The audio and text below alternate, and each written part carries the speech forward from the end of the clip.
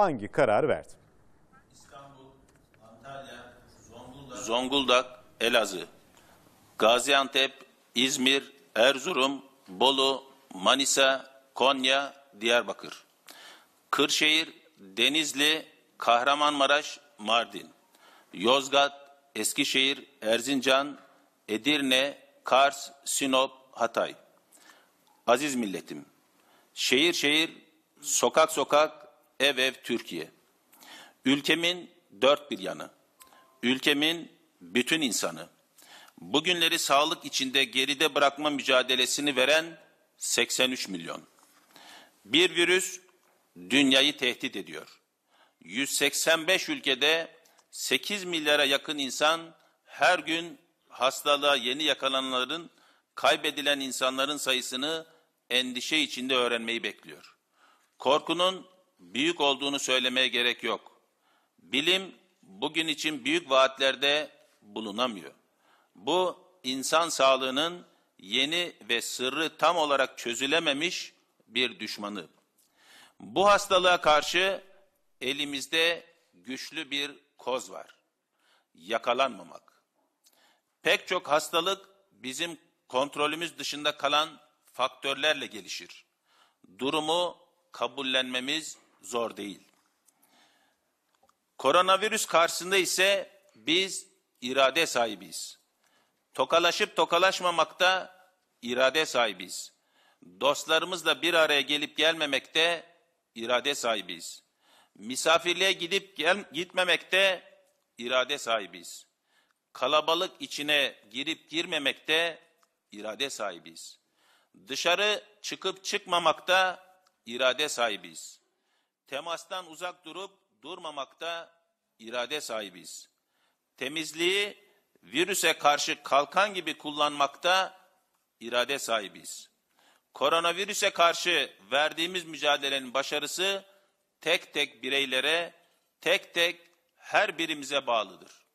Devlet bu mücadelede yaptırım gücü olan bir kılavuzdur. Mücadeleyi organize eden güçtür. Uygulama bize bağlıdır. Hiçbir sağlık kurumu, hiçbir hekim virüsün size bulaşmasını önleyemez. Bunu siz önleyebilirsiniz. Evinize çekilerek önleyebilirsiniz. Gerekli durumlarda maske takarak önleyebilirsiniz. Temastan kaçınarak önleyebilirsiniz. Bu mücadelede devletimiz güçlüdür. Benzer şartlardaki başka pek çok ülkeyle kıyaslanmayacak kadar güçlüdür. Bu güçle sonucu sonuç bu güçle sonuç alacak olanlarsa bizleriz. Ülkemin sevgili gençleri, insan sayısının arttığı her ortam riskin arttığı ortamdır. Büyük şehirlerimizde caddeler, meydanlar, kapalı mekanlar sosyal mesafenin korunamadığı ortamlardır. Sizinle bir abi olarak konuşmak istiyorum. Risk altına giriyorsunuz. Belki hasta olmuyorsunuz ama öldürücü bir virüsün taşıyıcısı oluyorsunuz. Sabah sizi evden uğurlayanlar akşam neyle karşılaşacaklarını bilmiyor. Hastalığa hatta daha büyük acı, hatta daha büyük acılara aracılık etmeyin. Evet, dışarıda eskisi kadar güzel olmasa da bir dünya var olmasına var ama biraz kendi dünyanıza çekilin. Dışarıda pek yapılamayacak aktiviteleri yapın. Mustafa Kutlu'yu, Tolstoy'u okuyun. Sinemanın başyapıtlarıyla tanışın. Bugünler kendinize yatırım olsun. Yaşı bana yakın olanlara, benden büyüklere de birkaç şey söyleyeceğim. Orta yaşlardaki vaka sayısı az değil. Virüs genç, yaşlı, orta yaşlı ayrımı yapmıyor. Eğer farkında olmadığınız bir hastalığınız varsa virüs onu ortaya çıkaracak ve tedavi hiç ummadığınız kadar zor olacaktır. Dikkatli olmalısınız. Sosyal hayatınızı asgari düzeye indirmelisiniz. Şu sıralar büyüklerimizin ziyaretine gitmek sakıncalı. Onları korumak zorundayız. telefon sohbetlerinizi daha uzun tutabilirsiniz. Sevdiklerimizle, yakınlarımızla birbirimizi biraz özleyelim. Tedbirlere sıkı sıkıya uyarsak bu özlem uzun sürmeyecek. Çocuklarımız için de söyleyeceklerim var. Milletimizin evlatları, biricik arkadaşlarım. Bakın ben çocuk doktoruyum. Tavsiyelerime uymanız gerekir. Artık oyunları evde oynuyoruz. Dışarıya çıkmak yok. Bir misafir gerilse, gelirse sarılmak yok. El öpmek yok. Sevgimizi, saygımızı uzaktan gösteriyoruz. Arkadaşlarla yine görüşüyoruz ama görüşmeler telefonla oluyor. Değerli anne babalar, okullarımız koronavirüs sebebiyle tatile girdi şeklinde bir kanı var. Bu yanlıştır. Çocuklarınızın eğitimi devam ediyor. Şu an ara verilen eğitimin okul içinde sınıflarda yapılmasıdır. Eğitimin bir süreliğine internet ve televizyon üzerinden veriliyor. Bu esasında eğitimde giderek yaygın hale gelen bir modeldir. Uygulamayı lütfen tatil olarak görmeyin. Çocuklarınızın da konuyu böyle anlamalarını önleyin. Derslerinden, arkadaşlarından geri kalmasınlar.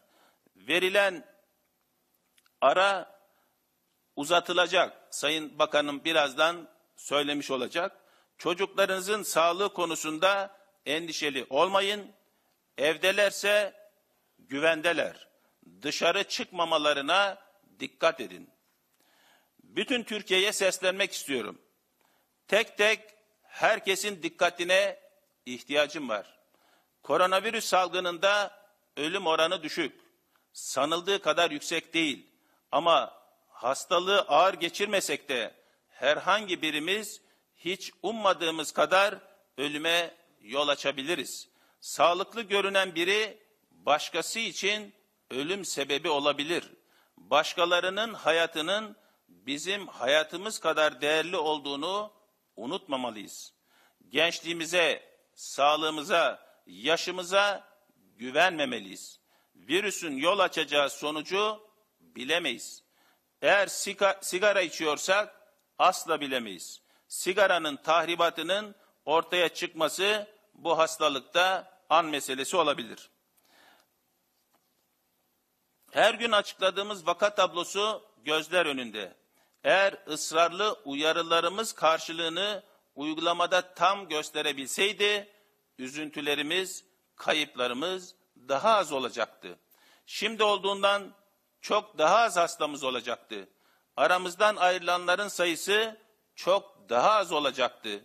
Ama ta başlarda gösterdiğimiz kendimizi koruma refleksi bizi her şeye rağmen avantajlı kılıyor. Ülkemiz yakın ya da uzak bir ülke durumuna düşmüş değil. Fakat bu salgında doğrusu her şey mümkün. Her şey ihtimal dahilinde. Başka ülkelere benzememek için tek tek her birimiz konuyu onların aldığından kat kat fazla ciddiye almalıyız. Çünkü bu tip salgınlarda tarih boyunca kritik eşikler olmuştur.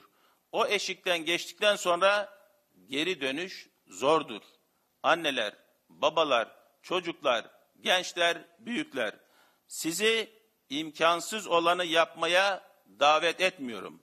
Sizi çok basit tedbirleri uygulamaya davet ediyorum. Sizi tedbirlerde çok sıkı olmaya davet ediyorum. Unutmayın, aldığımız tedbir kadar güçlüyüz. Unutmayın, hayat eve sığar. Bu arada kamuoyunun bundan sonraki dönemde daha kolay ve net bilgisini almak üzere bir husuda söylemek istiyorum. Özellikle her gün çıkan vaka sonuçlarını bildirmeye çalışıyoruz. Bundan sonraki dönemde düzenli bir şekilde karşıda ekranda gördüğünüz şekliyle hem toplam hasta sayısını, test sayısını, kaybettiğimiz vaka sayısını, yoğun bakımda olan hasta sayısını entübe yani solunum cihazına bağlı olan hasta sayısını ve iyileşen hasta sayısı olmak üzere dijital ortamda her gün güncellenerek bunu kamuoyuyla paylaşmış olacağız. Bu dün itibariyle olan rakamları, yoğun bakım rakamları e, doğru olan rakamlar ama dün itibariyle olan e, grafik şeklinde de vaka sayısını görüyorsunuz. Aşağıda da kırmızıyla görünen kısımda kaybettiğimiz vakaları. Ayrıca ikinci bir tabloda da günlük olan değişimi yine test sayısı, vaka sayısı ve kaybettiğimiz e, vaka sayısını da gösteren dijital ortamda göstereceğimiz ve güncel olarak bunu her gün kamuoyuyla paylaşacağımız bir tabloyu da buradan söylemek istiyorum. Bunun dışında özellikle erken dönemde ilk vakalarımızdan olan iki hastamızın bilgisini de kısaca vermek istiyorum.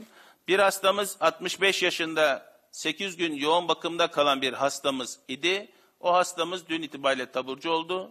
Yine bir hastamız erkek 60 yaşında. O da dün bugün itibariyle taburcu olmuş oldular.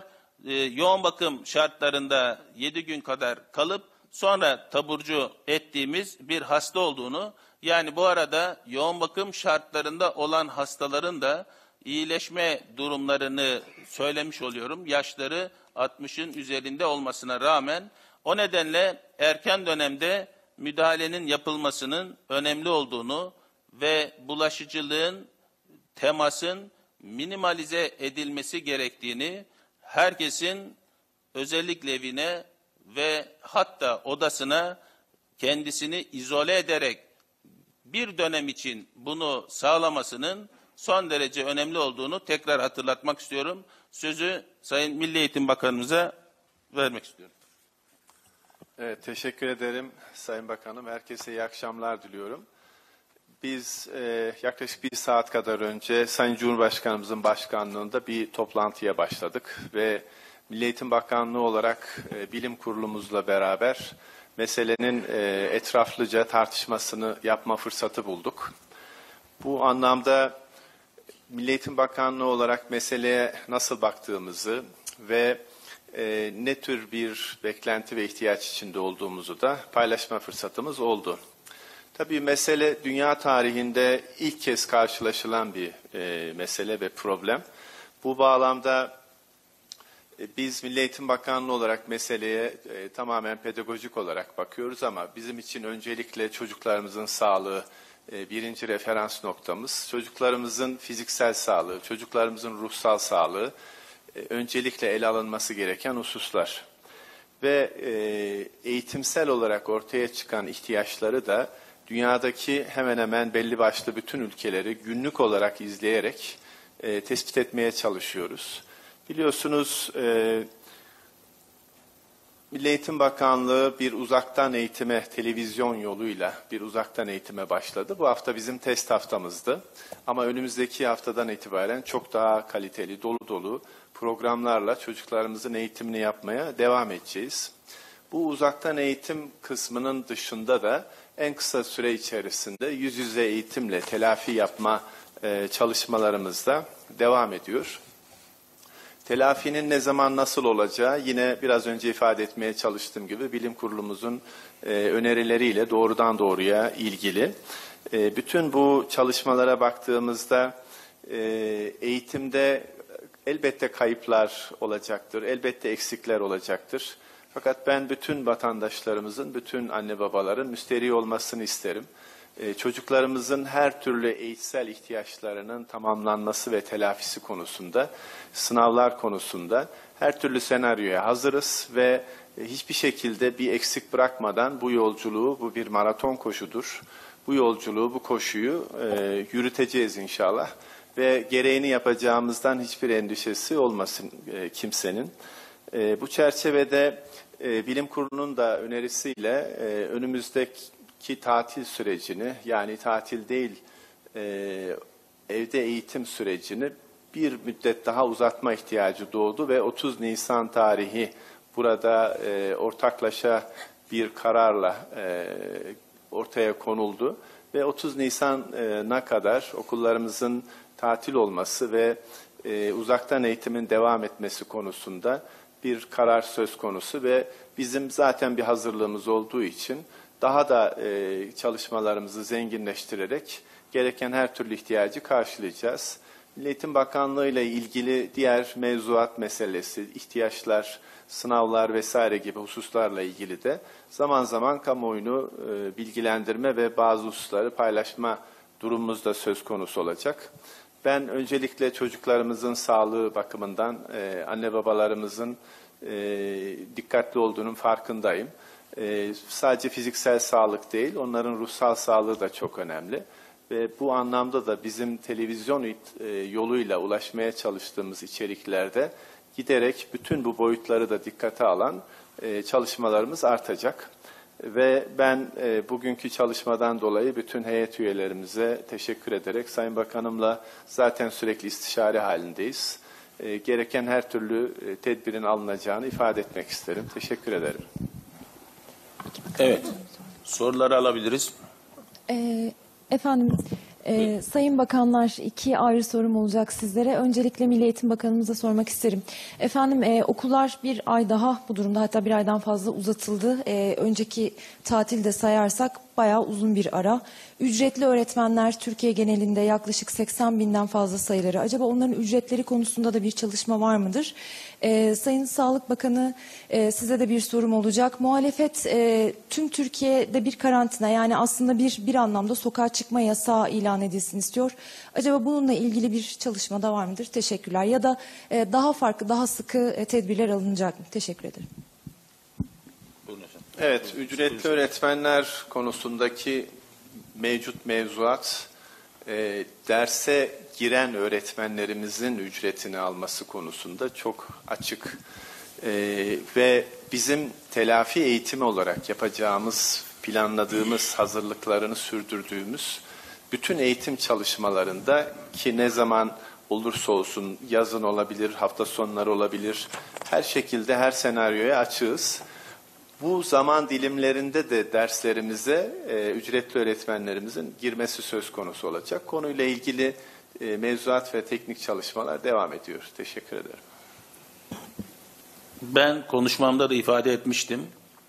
Herkesin özellikle bu dönemde kendi evine hatta odasına çekilerek izole etmesini, herkesin kendi olağanüstü halini kendince uygulamasını son derece önemsediğimizi söylemek istiyorum. Burada bilim kurulunda bugün yine konuştuğumuz özellikle kontrollü yaşam daha nasıl olabilir? Minimal temas nasıl sağlanabilir? Bu anlamda da bir çalışma yapılıyor olacak. Ulaşım, uçak, e, minibüs ve benzeri birçok alanda e, daha kontrollü bir yaşamı şekillendiren bir takım bilim kurulunun önerileri olabilir. Bu doğrultuda e, karar alınması gerekiyorsa zaten gereği yapılır. Evet. Sayın Bakan, e, ben de şunu sormak istiyorum. E, şu anda acil durumu olan demeyeyim de ama hastaneye gitmesi gereken insanlar oluyor ve şu anda hastanelerin durumu malum. Gidemiyorlar ya da sizin de hani önerinizle gitmek istemiyorlar. Acaba izole bir hastane her ile kurulma gibi kurulması gibi çalışma olabilir mi? Ya da farklı bir çalışmanız var mı? E, e, ikinci sorum il bazında virüs, virüsün yayılma hızı konusunda bir haritalandırmanız var mı? Bir de efendim sizler hani e, hem Size de soruyorum Sayın Bakan. E, kendinizi nasıl izole ediyorsunuz? Çok zordur muhtemelen. Hani toplantıdan toplantıya. Sizlerin e, kendinizle ilgili aldığı e, önlemler neler acaba? Sosyal izolasyon diyoruz. Gördüğünüz gibi toplantıda da mesafeli en az bir metre mesafede yaşamın devam etmesini önemsiyoruz. Ve yeri geldiğinde ikramları da devre dışı bırakıyoruz. Ee, hastanelerle ilgili özellikle şüpheli olan vakalarla ilgili o hastaları diğer hastalardan ayırıyoruz. pandemi hastanesi olarak ayırdığımız hastanelerin servisleri ayrı. Yoğun bakımları birbirinden ayrı. Orada çalışan personel de diğer servislerle ilişkili veya yoğun bakımla ilişkili değil. Bunu bilim kurulunun bir algoritmasıyla geliştirilen bir durum. Bu çerçevede hareket ediliyor. Bir başka bir sorunuz daha vardı sanırım. Ee, evet, il, baz, il bazında, İl e, bazında, virüsün il, bazı, il bazında var. Biz il bazındaki dağılımı da göstermiş olacağız. Biz zaten bunu biliyoruz. Ee, bunu da benzer tabloda olduğu gibi, bunu mesela günlük yayınlamış olacağız. Demin bahsetmiştim. Yani her gün dijital ortamda yoğun bakımda yatan hastalarımız, hatta entübe olan, solunum cihazına bağlı olan hastamız ve iyileşen hastalarımız dahil olmak üzere yapılan test, kaybettiğimiz ve e, vaka sayımızı da gösteren bu ekranda görüldüğü şekliyle bunu güncelleyeceğiz. Bunu güncel olarak veriyor olacağız. Ayrıca il bazında biz zaten biliyoruz. Bu da gerektiğinde verilir. Teşekkür ediyorum. Evet. Sayın Soru Bakanım. yok herhalde. Var. Ee, Her iki bakana da sormak istiyorum. Efendim, e, Sayın Selçuk, e, öğrenciler merak ediyor. Üniversiteye giriş sınavları, liseye giriş sınavları ertelenecek mi? E, Bir diğer sorum da Efendim bir diğer sorum da e, okullar e, ara verildi. Ama e, bu süreçte öğretmenler ya da öğrenciler arasında virüs tespit, tespit edilen vaka var mı? E, bunu öğrenmek istiyorum. E, Sayın Koca size de şunu sormak istiyorum. E, kontrollü yaşam daha nasıl minimalize olabilir diye bilim kurulunun önerileri olabilir dediniz. Şehirler arası seyahatler, uçuşlar e, bunlara sınırlandırma getirilebilir mi? E, Bir diğer sorum da e, yurt dışında çeşitli programlar nedeniyle yurt dışına giden öğrenciler geliyor Avrupa'dan. E, Bunlar için nasıl bir önlem alınacak? Teşekkür ediyorum. Buyurun Sayın Bakan. Evet, bu sınavlar konusu işin başından beri gündemimizde ve prensip olarak biz hep sınavın zamanında yapılmasını önemseriz çocukların psikolojisi açısından.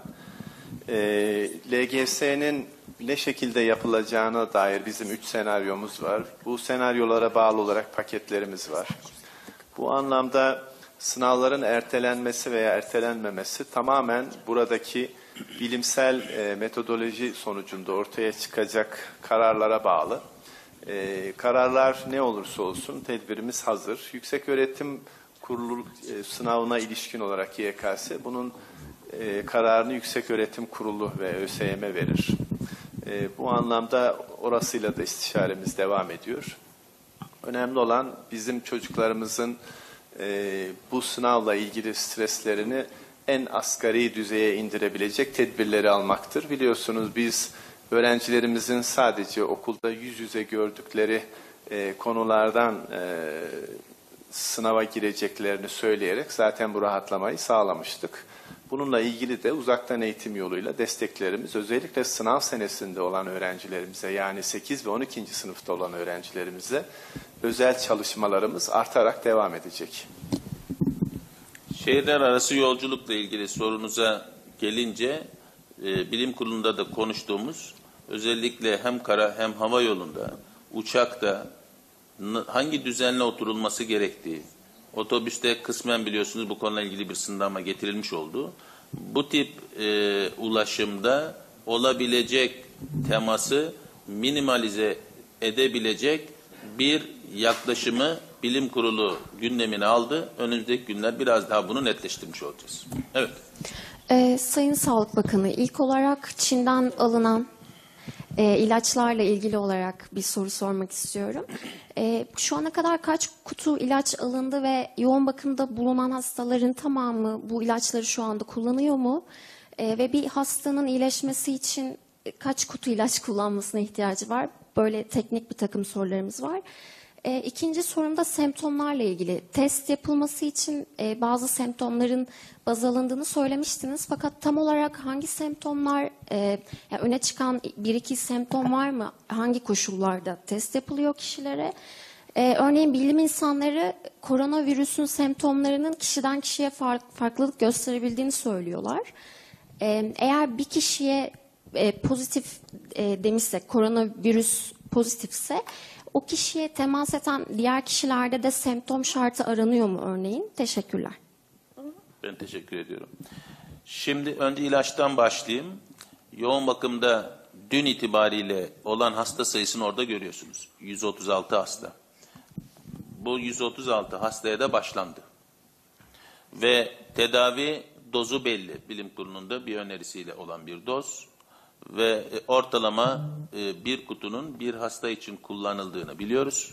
Ve e, en az 5 günlük bir kullanım. Tabii Çin'de bu ilacın kullanıldığı hasta sayısı belliydi. Çalışmasını biliyoruz. Bizde şu an bu hasta sayısıyla önemli bir sayı olduğunu bilim kurulu buradan sonuç alıp almadığımızı veya ne oranda bir fayda sağlayıp sağlamadığını önümüzdeki bir hafta içerisinde bunu daha net konuşabiliriz. Ve bizim baştan getirdiğimiz ilaç miktarı 1250 kutuydu. 3750 kutu daha siparişi verildi. Devamı içinde çaba içindeyiz ama bu arada faydasını olup olmadığını da görmek istiyoruz. Bunun dışında kimlere test yapılmalı? Vatandaşımıza özellikle şunu söylemek istiyorum. 83 milyonun test yaptırması gerekmiyor. Dünyada böyle bir uygulama yok. Herkesin test yaptırması diye bir uygulama yok. Çünkü testi yaptırdığınızda negatif çıkabilir ve siz kendinizi daha özgür, daha rahat hissedebilirsiniz. Ama 3 gün sonra, 5 gün sonra pozitif çıkabilir. O durumda, o dönemde birçok kimseye bulaştırabilirsiniz. Herkes kendisini bir virüs taşıyıcısı olarak görerek hareket ediyor olmalı. Yani herkes bu virüsü taşıyor olduğunu ve bunu birilerine bulaştırabileceğini düşünerek davranıyor olmalı. Bu son derece önemli. Eğer testi yaptırdığınızda negatifse bu olmayacağı anlamına gelmez. 3-5 gün sonra tekrar pozitif çıkabilir. O nedenle biz 14 günlük zaman dilimini önemsiyoruz. Çünkü o negatif olduğu dönemden itibaren 14 gün olabilir. Testi kimlere yapılmalı? Bilim kurulu bunun algoritmasını başından itibaren sürekli değiştirerek bugünlere geldi. Yani baştan Çin öyküsü olandı. Devamında İran öyküsü olandı. Devamında İtalya ve Avrupa öyküsü olandı. Devamında yurt dışı öyküsü olandı. Devamında artık ateş, öksürük, yakınması olan neredeyse herkes, solunum yakınması, solunum sıkıntısı olan zaten herkes. Dolayısıyla dün İstanbul'da bir hastanemize kuyruklar oluştu. İnsanlar test yaptırmak istedi. Bu doğru bir yaklaşım tarzı değil. Ancak testi hekim uygun görürse yaptırabilir olmalıyız. İkincisi, birinde pozitif çıktıysa, biz ona filyasyon diyoruz, tarama anlamında, kiminle temas ettiyse o kişileri taramak istiyoruz. Ancak o şekilde biz yayılımını önleyebiliriz. O taramayı da yine eğer bir semptomu varsa test yapılır. Semptomu yoksa en az bu süreçte 7 gün hatta 17 gün sonra gerektiğinde antikor testi yaptırılabilir. Veya semptomu varsa PCR testi yaptırılabilir. Ama 14 gün bunun ortaya çıkabileceğini düşünerek o kişilerin kendilerini izole etmelerini önemsiyoruz. Bunlara lütfen uyalım. Teşekkür ediyorum. Efendim benim de üç sorum olacak. Ee, Birincisi 83 milyonun test yaptırmasına ihtiyaç yok dedik ama özellikle İstanbul'da e, özel laboratuvarlar yurt dışından testleri getirerek e, yüksek bir meblağda yaptıklarını söylüyorlar. Hani bu testleri izin, yapılmasına izin veriliyor mu ya da e, bir uyarı gidecek mi? Bununla ilgili bir çalışma var mı? E, bir diğeri sosyal medyada sıkça özellikle bayılan e, ya da öldüğü iddia edilen yaşların videoları dolaşıyor. Bu da e, bir tedirginlik ortamı oluşturuyor özellikle sosyal medyada. Bununla ilgili e, açıklamalar açıklamanız nedir onu merak ediyorum. Bir diğeri de özel okullarla ilgili çok soru geliyor. Özellikle velilerden ücretleriyle ilgili yemek ve servis ücretleriyle ilgili hala velilere mesaj gittiğini, ücretlerini ödemedikleri için uyarı gittiğini görüyoruz. Bunların cevabını alırsam yeter. Teşekkürler. Şeyden başlayalım. Evet, bugün dünyada bir buçuk milyara yakın öğrenci e, evde ve okullar kapandı. E, bu anlamda bizim bütün velilerimize özel okulda ya da resmi okullarımızda öğrencisi olan bütün velilerimize önerimiz bu konu e, uzun soluklu bir konu ve telafisi yapılacak olan bir husus özel okullarla ilgili temsilcilerle, derneklerle görüştüğümüzde de gündeme geldi. Muhakkak surette e, şimdi yapılmayan herhangi bir eğitim hizmeti tamamlanacağı ve telafi edileceği için e, bu konuda bir problem çıkacağını sanmıyorum. E, bu anlamda bunun ötesindeki problemler elbette sağlıkla ilgili problemler. Benim o konuda konuşmam doğru değil. Ama eğitimsel olarak e, velilerimiz e, lütfen e, bizim için önemli olanın çocuklar olduğunu ve çocuklar için çalışıyoruz. Bu yüzden motivasyonumuz yüksek, bu yüzden moralimiz yüksek, bu yüzden umutluyuz E, ve gereken her şeyi yapacağız inşallah. Ve bütün bu durumda e, beklenti içinde olan velilerimize de gün gün hafta hafta her türlü açıklamayı da yapacağız. Testlerle ilgili bir soru gelmişti. Yani özelde ücret karşılığı test yapıldığı. Şunu net ifade etmek istiyorum. Hiçbir test ücret karşılığı asla yapılsın istemiyoruz. Ve bizim izin verdiğimiz merkezlerde de üniversiteler dahil olmak üzere ki bu anlamdaki e, kiti biz bakanlık olarak veriyoruz. Her kim PCR cihazı bulunduruyor ve çalışmak istiyorsa kiti bizden olmak üzere ama asla vatandaşımızdan ücret almamak üzere bir gayret ve çaba içindeyiz. Ne bakanlık ne üniversiteler herhangi bir ücret alma durumunda değiller. Biz izni vakıf üniversitelerine de verdik. Burada temelde niye izinle yapılıyor? Şundan dolayı pozitif çıkan vakanın bulaştırdığı kişileri biz taramak istiyoruz. Eğer siz yakın olduğu, temas içinde olduğu kişileri tarayıp izole edemezseniz bu salgınla mücadele edemezsiniz. O nedenle bu noktadaki yasal mevzuatta çok katı, pandemide eğer bildirilmesi gereken bir hastalıksa ki bu öyledir, bunu bildirmek zorundalar. O durumda biz bu testi yapabilecek merkezlere yetki vermiş oluyoruz. Ama bunun dışında bu dönemi istismar etmek isteyen, bu dönemde bir şekilde korsan çalışmak isteyen bir takım laboratuvarlar olursa lütfen bize bildirin ve bu anlamda gereği yapılır. Ben sadece İstanbul'da bildiğim bir laboratuvarla ilgili bizzat kendim arayarak asla vatandaştan ücret almamak. Kit isteniyorsa bu kiti bizim tarafımızdan verileceği ve pozitif çıkan vakanın da bize mutlak bildirilmesi şartıyla eğer bu, bu konuda da bir eksiklik hissedersek mevzuat gereği yapılması gereken yapılır diye ısrarla söyledim. Bu anlamda yapan olursa da lütfen bizim haberimiz olsun.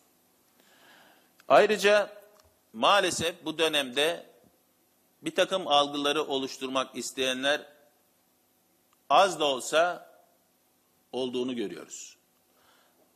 Bayılan, anında kaybedilen, düşen 4-5 tane vaka dün servis edildi sosyal medyada. Kimisi geçen aydan olan, kimisi alkol olan, kimisi başka problemleri olan. Biz şu bu hastalığı şöyle biliyoruz. Öncelikle mevsimsel grip gibi başlayan, devamında solunum sıkıntısı ve giderek yoğun bakım şartlarına ihtiyaç gösteren bir süreç içinde bu hastalık ilerler. Bu hastalık anında düşmenizle, anında kaybedilmeyle, anında herhangi bir e, ölümle sonuçlanabilir bir seyirle gitmiyor. Dolayısıyla bu tip şeylere asla inanmayın. Ve bu anlamda bu algıyı oluşturmak isteyenlerle ilgili de zaten e, ilgili birimler yasal çerçevede devrede oldular. Teşekkür ediyorum. Başka? Soru yok Geliyorum. herhalde. Var mı? Ee, var efendim. Ee, efendim bir e, bu konuda Çin'den bir yardım talebiniz oldu mu? Yani e, koronavirüse karşı salgının yayılmasını önlemek maksadında e, mesela Wuhan kentinde hayat normale dönüyor gibi. E, Çin'den bu konuda bir yardım talebiniz oldu mu? E, ikinci soru da aslında milyonların e, merak ettiği bir soru. Bu virüs denen bu bela Türkiye'yi e, ne zaman terk edecek? Havaların ısınacağı zaman terk edeceğine yönelik bazı e, iddialar vardı. Aylarca sürecek mi? Mesela ben düğün yapacağım. Kara kara düşünüyorum. Ne zaman gidecek, ne zaman terk edecek diye. E, üçüncü bir soru da şu anki vakalarda e, gençlerde durum nedir? Oran ne vaziyette efendim? Teşekkür ediyorum. Ben konuşmamda da bahsetmiştim. Dağılım aslında genel. Genç, orta yaş ve yaşlıyı fark etmeden herkeste yaygın bir şekilde görülüyor. Ama yaşlı da veya orta yaşlı veya altta kronik hastalığı e, olan kişilerde daha ağır seyrediyor. E, Çin'den yardım ben geçen bahsetmiştim. E, Büyükelçi, e, Sayın Büyükelçi ile de görüştüğümüzde e, özellikle bilim kuruluyla bilim insanlarının karşılıklı tecrübelerini paylaşmasını konuştuk. Onu bugünlerde, önümüzdeki günlerde planlamış olacağız. Onun dışında başka bir talebimiz şu dönemde olmadı ama Çin bize bu noktada son derece iyi niyetle her açıdan destek olmak istediğini özellikle belirtmiş oldular. Ee, üçüncü sorunuz? Bu, bu ne kadar sürecek? Bu tamamen ben bugün özellikle dikkat ederseniz tek tek herkesin fert ver kendisini virüs taşıyıcısı gibi görerek sosyal izolasyona evde hatta odasında izole etmesinin altını çizdim. Biz ne kadar bu kurallara temasa ve izole etmeye kendimizi zorlarsak bu süreç o kadar kısa sürer. Ne kadar bu anlamda herhangi bir kural tanımazsak o kadar da bunun mücadelesini sürdürmek zorlaşabilir. Evet. Efendim e, benim Sayın Koca'ya Evet. merhabalar.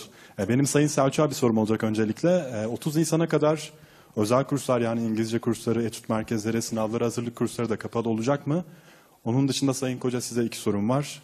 E, toplantının başında saymış olduğunuz şehirler vakaların görüldüğü şehirler mi? Ve de bu sağımızdaki grafikte gördüğümüz e, verileri kamuoyuyla ne zaman paylaşacaksınız? Son olarak da salgın süresince işlerine gitmek zorunda olan insanlar var. Kendi talepleri dışında da ücretsiz izne çıkartılan insanlar olduğunu duyuyoruz haberlerde. Hatta e, sizin kurucusu olduğunuz ve sahibi olduğunuz Medipol Hastanesi'nde de doktor, hemşire ve temizlik personeli haricindeki diğer çalışanların kendi talepleri dışında yıllık izinlerinin kullandırıldığı, izinleri yoksa da ücretsiz izne çıkartıldığı haberi çıktı. Bu haber doğru mu? Lütfen bu tip şeylere inanmayın. Bakın ben ilişkimi kestim. Ve gerçekten son belki bir, bir buçuk yılda oradaki arkadaşlara sorun. Beni kaç defa görmüşler? Ve bu süreçte böyle bir durum asla söz konusu değil. Ama bu algıları sürekli oluşturmak isteyenler var. Lütfen bunlara inanmayalım. İkincisi ben aslında bütün şehirleri saymak istiyordum. Benim oradaki mesajım bütün şehirleriydi. Bütün Türkiye'ydi. O illerde o anlamda e, örnek seçilen iller olmuş oldu.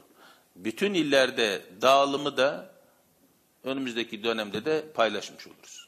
Evet. Efendim, Bir konu pardon. Sorunun devamı var. Oraya devam edelim. Ondan sonra şey yaparız. Şimdi sizin sorunuzda geçen özel kurslar vesaire e, bunlarla ilgili tabii ki onlar da kapalı olacak. Yani mesele bir yavrumuzu hastalığın eline bırakmanın telafisi olmadığının farkına varmak. Biz eğitimi telafi ederiz. Yani bütün toplum e, müsterih olsun. Biz bunu telafi ederiz. Ama bir hastalığı telafi edemeyiz. Önemli olan çocuklarımızın sağlığı ve bunun için her koşulda da uğraşıyoruz. Yani meslek liselerimizi harekete geçirdik. Cerrahi maskelerle, e, tek kullanımlık elbiselerle çok sayıda üretim yapıyor şimdi. Çok birçok kalemde meslek liselerimiz. Bizim şu anda ihtiyacımız olan şey daha çok sabır, daha çok gayret, daha çok umut.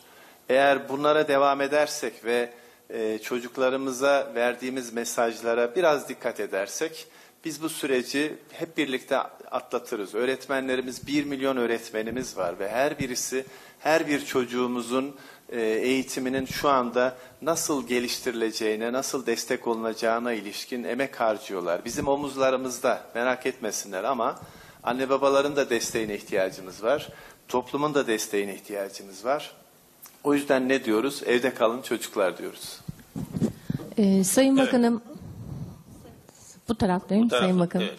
Ee, sosyal medyada yine bir takım e, dolaşan iddialar var. Bunlardan bir tanesi de özellikle hastaneler olmak üzere sağlık çalışanların maske e, sıkıntısı yaşadığına yönelik. E, biraz önce e, Sayın e, Milli Eğitim Bakanım da gerçi birazcık bahsettiler ama bu konuda değerlendirmenizi alabilir miyim? Böyle bir sıkıntı söz konusu mu? Teşekkür ediyorum. Teşekkür ediyorum.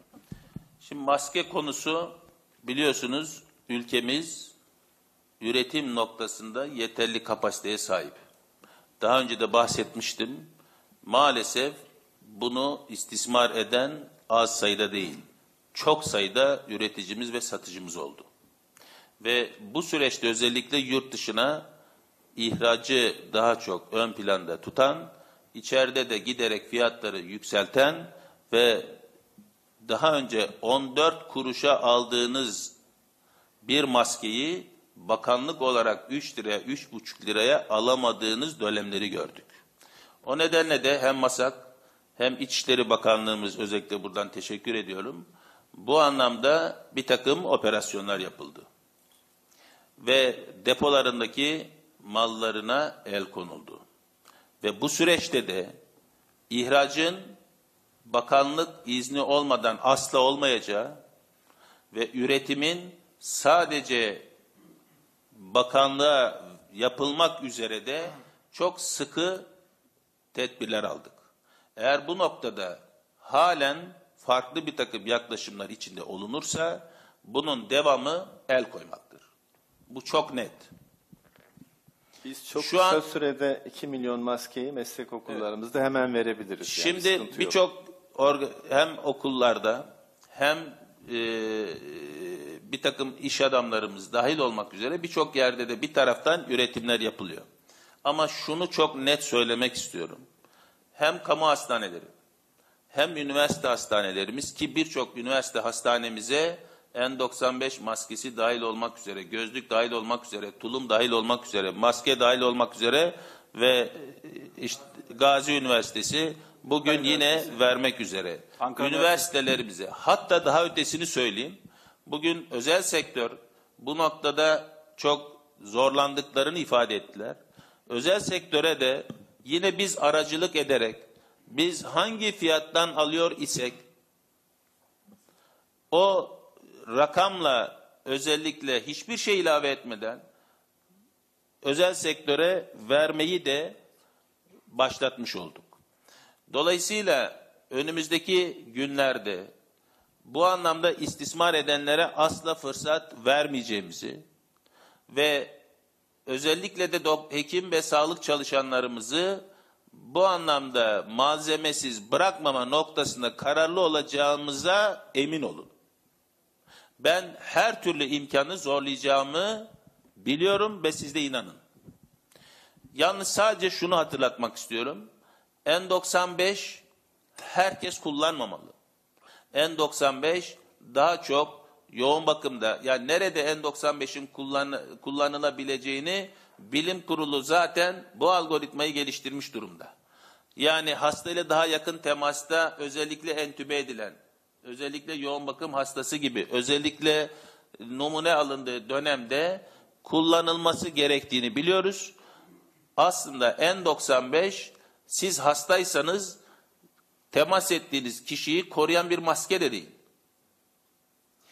O nedenle normal cerrahi maskenin çok önemli olduğunu ve kullanmak zorunda olan hekim arkadaşlarımıza da bu N95'i asla eksik bırakmamak noktasında bir çaba içinde olduğumuzu ve önümüzdeki günlerde bu anlamda daha yoğun bu dediğim operasyonlarla birlikte daha yoğun malzemenin olacağını ve eksiklik oluşturmayacağımızı ısrarla ifade etmek istiyorum. Hem kamu, hem üniversite, hem özel sektör. Özel sektörü de dernekler üzerinden taleplerini alıp özel sektöre de bunu vermeyi. O nedenle üreticilerimiz ve satıcılarımız şu dönemde asla farklı bir yaklaşım içine girmiyor olmalılar. Biz bu dönemde vatandaşımızı ve sağlık çalışanlarımızı asla malzemesiz bırakmak istemiyoruz. Bunun içinde her türlü kavgaya hazır olacağımızı da bilmiş oldum. Teşekkür ediyorum. Evet. Sayın Bakanım. e, Buradayım Sayın Bakanım. Evet. Sayın Bakanım, diğer kurumlardan e, bakanlığa geçmek isteyen sağlık personeli için ve istifa etmiş olup da yeniden bakanlığa dönmek isteyen personeller için bir ilan yayınlanması düşünülüyor mu? Bir diğer sorum da e, okulların online eğitimi uzatıldı. Üniversite eğitimi de e, üniversitelere verilen aranın da uzatıldı, uzatıldığını söyleyebilir miyiz bu konuda? E, bir de Milli Eğitim Bakanımıza bir sorum vardı. E, Milli Eğitim Bakanlığımız meslek seleri aracılığıyla e, maske ve dezenfektan üretimine başladı ve bu konuda da bir katkıları var. E, meslek liselerimiz e, bir katkıda daha bulunabilir mi? Solunum cihazı üret- üretebilecek durumda mıyız? Solunum cihazını üretiyoruz onu söylemiştik. E, meslek liselerimiz. Evet, bununla ilgili e, bir altyapımız var. E, yapabiliriz ve şu sıralarda ARGE çalışmaları bitmek üzere. E, aslında başka ARGE çalışmalarımız da var. Biraz netleşsin, onları kamuoyuyla e, paylaşacağız. E, online eğitimle ilgili biliyorsunuz hani dünyada bunu yapabilen, şu sırada yapabilen 2-3 ülke var. Bir tanesi Türkiye. Ee, ama bizim bunu televizyon yoluyla yapıyor olmamız e, bir şekilde her eve ulaşma amacı güdüyor. Ama ayrıca da internet e, tabanlı desteğimiz de söz konusu.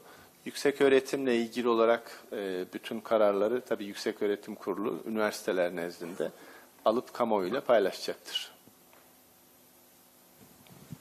Üniversiteler konusu vardı.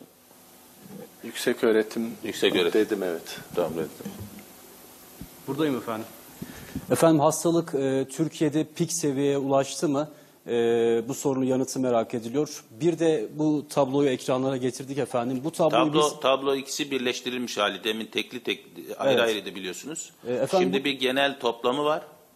Yanında günlük. Evet. e, bu tabloyu biz e, internet üzerinden günlük olarak İnternet üzerinden günlük göreceksiniz. bir internet sitesi Sağlık Bakanlığı internet sitesinden Bakanlık mi? bunu yayınlamış olacak. Peki efendim. Dijital ortamda. Bir de Yani pikse- yani göreceğiniz bir test sayısı, iki vaka sayısı, üç vefat edenlerin sayısı, dört yoğun bakım hasta sayısı, beş yoğun bakımda olup entübe edilen solunum cihazına bağlanan hasta sayısı, altı iyileşen hasta sayısı. Bu genel toplam. Öbürü de günlük test, vaka sayısı ve vefat sayısını gösteren bu ikisini bir arada vermiş olacağız. Evet. Efendim bir de hastalığın pik seviyeye ulaşıp ulaşmadığını sormuştum. Bu konuyla ilgili şu an bir şey söylemek zor. Önümüzdeki haftalar bunu daha rahat söylemek mümkün.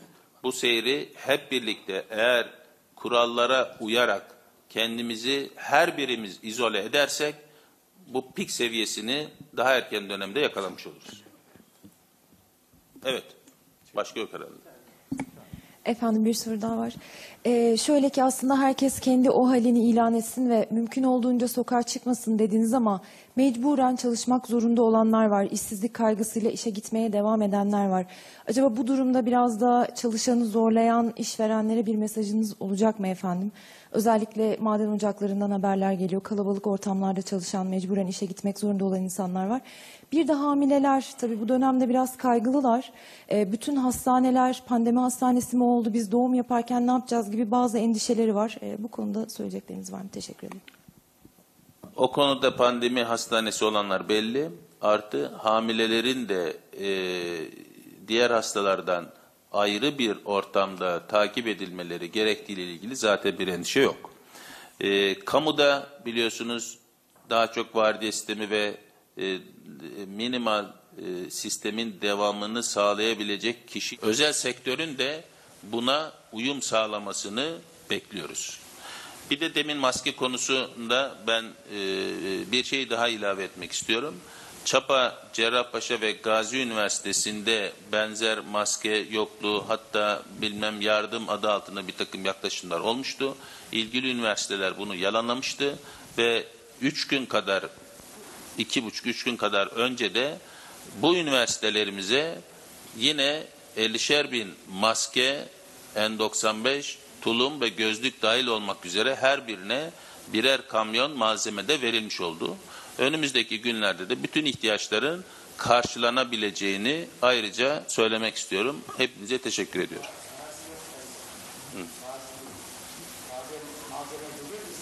Tamam geldim. Sor, tamam. Sizde kampanya yok.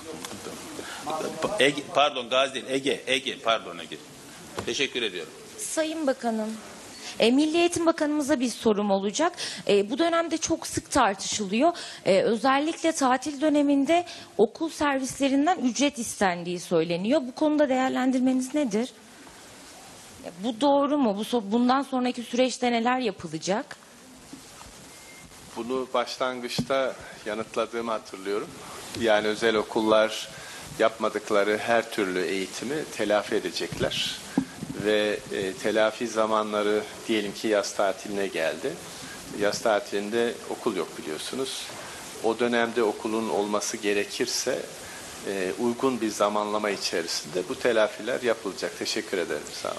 Sayın Bakanım, Sayın Selçuk size son bir sorum var efendim. Küçük çocuğu olanlar, okul çağında olanlar ama okullar şu anda tatil. Velileri, anne ya da babaları idari izinli sayılabilecek mi?